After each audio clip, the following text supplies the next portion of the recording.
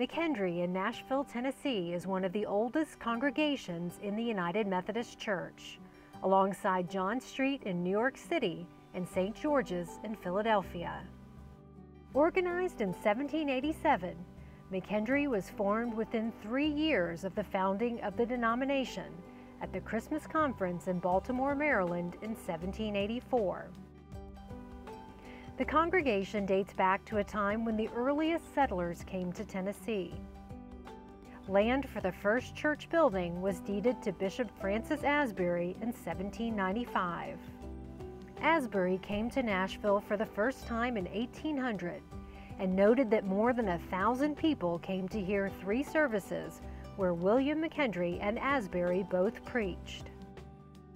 The first building of a series in the present location was constructed in 1833 and named for Bishop McKendree.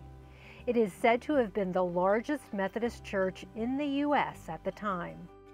McKendree started the first Sunday school in Middle Tennessee and organized the first Women's Missionary Society in the Methodist Episcopal Church South.